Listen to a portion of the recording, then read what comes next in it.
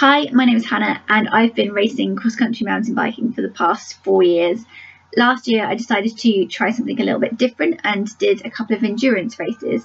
Um, I entered my first, which was a six hour race. This was hard work, but my body seemed to cope well with the distance and keeping going um, as long as I fueled it correctly. So I decided to up the game a bit and took on a 24 hour race as a pair. This was a huge challenge, um, really hard work, especially in the witching hour between about two and four in the morning when you really just want to be asleep and your body can't figure out why you're doing this. Um, but we worked really well as a team and we came third in our first ever 24 hour race, which I was super happy with and can't wait to do the next one. After Mountain Mayhem, I decided to try a 12 hour solo race and then to Torq 12 12.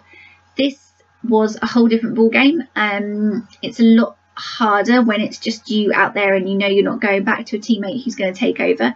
But I really enjoyed the mental and physical challenge of really pushing myself outside of my comfort zone and working really hard to keep going and just thinking about that next lap and just getting that next lap out of the way and not psyching yourself out over the fact that you've got four hours to go on the bike or something like that. Um, so that was great, and I came third, which I was um, just amazed by, to be honest, because I never expected to come anywhere near the podium. After Torq, I decided that my body was really more built for endurance racing. That seemed to really suit me, and I enjoyed the mental and physical challenge of keeping going for longer and looking at how you fuel your body to to keep going for all those miles and, and keep turning those pedals.